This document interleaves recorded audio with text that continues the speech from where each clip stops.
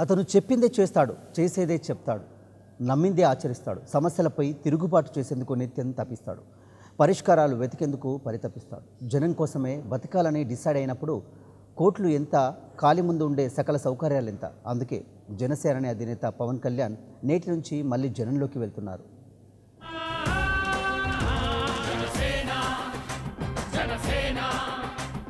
జనం అనడానికి జనం తోడు అనడానికి జనం వైపు అడుగేసిన సేన జనసేన.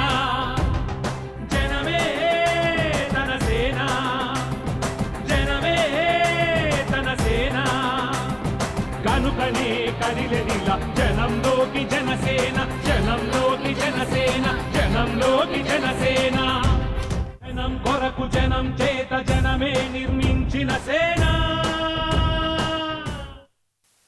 బృహత్తర ప్రణాళికకు శ్రీకారం చుట్టారు జనసేన అధినేత పవన్ కళ్యాణ్.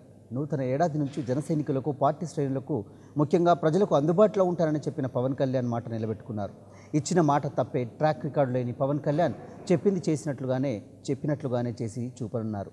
ఇప్పటికే ఆయన అమరావతికి చేరుకున్నారు.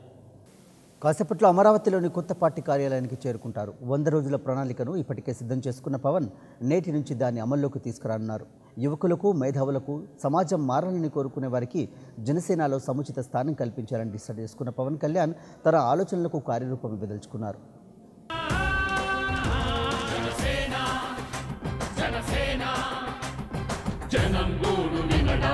జనం తోడు అనడానికి జనం జనసేన గుర్తు గాజు గ్లాసును ప్రజల్లోకి తీసుకెళ్ళాలనేది ఆయన ప్రధాన ఆలోచన.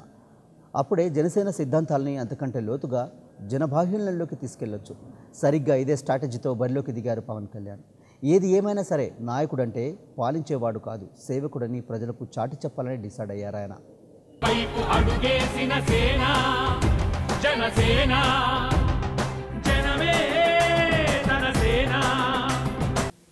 ఇదిలా ఉంటే పవన్ కళ్యాణ్ కోసం ఆంధ్ర రాష్ట్రం ఆశగా ఎదురుచూస్తుంది. ఎప్పుడెప్పుడు తమ అభిమాన నేతను హక్కున చేర్చుకుందామని కోటి ఆశలతో ఎదురుచూస్తున్నాయి జనహృదయాలు నూతన సంవత్సర తొలి రోజున మరింత ఆనందంగా తయారు చేసేందుకు వస్తున్న పవన్కు గ్రాండ్ వెల్కమ్ పలికేందుకు జన సైనికులు సిద్ధమయ్యారు.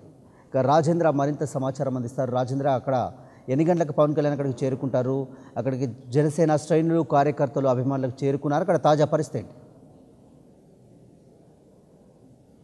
జనసేన అధినేత పవన్ కళ్యాణ్ నిన్న రాత్రి నిన్న సాయంత్రం విజయవాడ చేరడం జరిగింది. అయితే ఈ రోజు పదక ఉదయం పదకొండున్నర గంటల సమయానికి పార్టీ కార్యాలయం వద్దకు చేరుకోనున్నారు. అయితే దీనికి సంబంధించి జనసేన అధినేత ఇదివరకు ట్విట్టర్ వేదికగా చెప్పిన ఏదైతే ఉందో ఒకటో తారీఖు నుంచి ప్రజలకు అందుబాటులో ఉంటాను నాయకులకు అందుబాటులో ఉంటాను. పార్టీ కార్యక్రమాలు కూడా ఇక్కడ జనసేన పార్టీ కార్యాలయం నుంచి అమరావతిలో నుంచే పార్టీ కార్యాలయం కార్యక్రమాలు కూడా చేపడతాం జరిగింది. అయితే ఈ నేపథ్యంలోనే ఈ ఎన్నికలకు సంబంధించి కేంద్ర ఎన్నికల సంఘం జనసేన పార్టీకి గాజు గ్లాసు గుర్తును కూడా కేటాయించడం జరిగింది. అయితే దీనికి సంబంధించి పార్టీ గుర్తును కూడా ప్రజల్లోకి తీసుకెళ్ళే విధంగా కార్యక్రమాలు చేపడతామని కార్యక్రమాలు కూడా మొత్తం ఇక్కడి నుంచే ఉండే విధంగా ఉన్నాయని దీనికి సంబంధించి మొత్తంగా వంద రోజుల ఒక పర్యటనకు సంబంధించి ఒక షెడ్యూల్ విడుదల చేయనున్నారు. అయితే ఈ రోజు మరికొద్దిసేపట్లో పార్టీ కార్యాలయం వద్దకి జనసేన అధినేత పవన్ కళ్యాణ్ చేరుకోనున్నారు.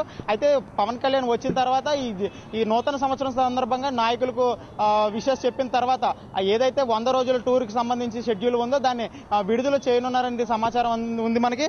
అయితే దీనికి సంబంధించి ఇంకా పవన్ ఇప్పుడు చేరుకోవాల్సింది. దానికి సంబంధించి ఏర్పాట్లు అయితే కట్టుదిట్టమైన ఏర్పాట్లు అయితే చేసి ఉన్నారు. అన్ని రకాలుగా ఏర్పాట్లు చేశారు. ఇప్పుడు పవన్ కళ్యాణ్ వచ్చి మీడియాతో మాట్లాడి ముందు నాయకులతో నూతన సంవత్సరానికి సంబంధించి విషయాలు చెప్పిన తర్వాత నాయకులతో మాట్లాడితే అయితే పార్టీ కార్యక్రమాలకు సంబంధించి ఆంధ్రప్రదేశ్లో జరిగే మొత్తం పార్టీ కార్యక్రమాలు కూడా మొత్తం ఇక్కడి నుంచే చేసే విధంగానే పార్టీ కార్యక్రమాలు ఉంటాయని జనసేన నాయకులు చెప్తున్నారు. ఇక ప్రస్తుతం మనం చూడొచ్చు పార్టీ కార్యాలయం చూపి విజువల్స్లో చూడొచ్చు. మొత్తం పవన్ కళ్యాణ్ రాక కోసం పార్టీ శ్రేణులు కూడా పార్టీ కార్యాలయాన్ని సుందరీకరించి చేసిన విజువల్స్ మనకు కనపడతాయి. పార్టీ అధినేత కూడా మరికొద్ది సేపట్లో పార్టీ ఆఫీస్కి చేరుకొని ఉన్నారు. పరమేశ్వర్. రాజేంద్ర ప్రధానంగా ఈరోజు వంద రోజుల పాటు ఒక బృహత్తర కార్యక్రమాన్ని శ్రీకారం చుట్టిన పవన్ కళ్యాణ్. సో ఎలాంటి ఆలోచనతో ప్రజల్లోకి వెళ్ళబోతున్నారు? ఎలాంటి ఉద్దేశాల్ని లక్ష్యాలని సిద్ధాంతాలని ప్రజలకు వివరించే అవకాశం ఉంది?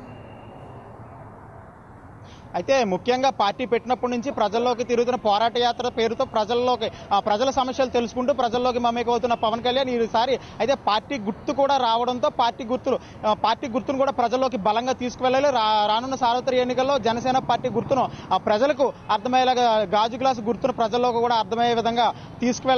రానున్న ఎన్నికల లక్ష్యంగా ఈ పార్టీ గుర్తును అదేవిధంగా పార్టీ కార్యక్రమాలు అదేవిధంగా ప్రజల సమస్యలను కూడా నేరుగా పార్టీ కార్యాలయం నుంచే ఎక్కడి నుంచి అందుబాటులో ఉన్నారు ప్రజలకు ఏ విధమైన సమస్యలు ఉన్నా సరే నేరుగా తమ వద్దకు వచ్చి ఆ సమస్యలను వివరించే విధంగానే పార్టీ కార్యక్రమాలు చేపడతాం.